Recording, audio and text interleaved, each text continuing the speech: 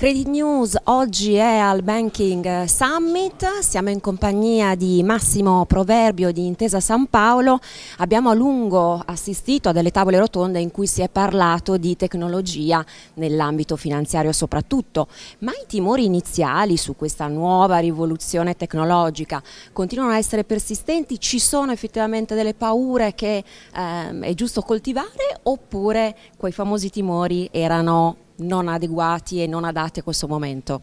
Ma io ritengo che eh, è una nuova tecnologia, come tutte le eh, tecnologie comporta opportunità e rischi, problematiche da gestire, eh, credo onestamente che eh, vada enfatizzata il lato opportunità da questo punto eh, di vista. La generative AI, che è quella che genera più perplessità, alla fine non è nient'altro che un insieme di numeri riaggregati statisticamente. Aver paura di questo non credo sia corretto, eh, viceversa c'è un'opportunità enorme di aumentare la produttività in un paese come il nostro che ha diversi problemi di produttività legata all'immigrazione di bassa qualità, scarsa partecipazione del lavoro femminile e natalità in decremento. Quindi per il nostro paese in particolare questa deve essere vista come un'opportunità da cogliere.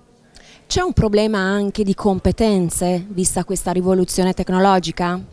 Sicuramente se è un'opportunità la generative AI e eh, l'intelligenza artificiale in generale, eh, è chiaro che eh, deve cambiare il profilo di competenza che abbiamo a disposizione e in pratica bisogna uh, far sì che eh, ci sia più adesione all'università, più uh, università quantitative, quelle che vengono chiamate STEM, eh, diciamo anche economia quantitativa, pianificazione controllo e via di seguito sono università quantitative, quindi vanno al di là dell'acronimo STEM, ma è l'elemento fondamentale che ci consente di eh, passare attraverso un transitorio che può essere problematico come compito in primo luogo delle istituzioni e poi anche delle imprese come la nostra che hanno la dimensione giusta, gestire in maniera efficace ed essere efficace questo transitorio essendo come dire, socialmente responsabili.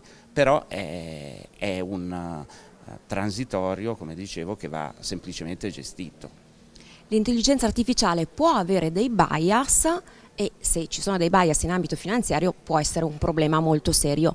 Eh, come si possono gestire queste problematiche? Ma guardi, noi eh, come eh, Intesa San Paolo abbiamo avviato già prima delle AI Act eh, progetti di intelligenza artificiale eh, avendo un framework interno molto chiaro e eh, abbiamo stabilito cinque principi chiave, poi ce ne sono altri. Il primo è eh, il controllo dei bias, quindi si può controllare che le soluzioni e le basi dati di partenza non abbiano bias e noi lo facciamo in tutti gli use case che siano spiegabili, che si basino su dati di qualità e che abbiano sempre una uh, persona, un umano, viene chiamato human in the loop in inglese, e, e c'è sempre. Quindi eh, fa parte del discorso che facevamo prima. Non è da temere l'intelligenza artificiale, ci sono dei problemi, basta affrontarli e gestirli con professionalità. Grazie.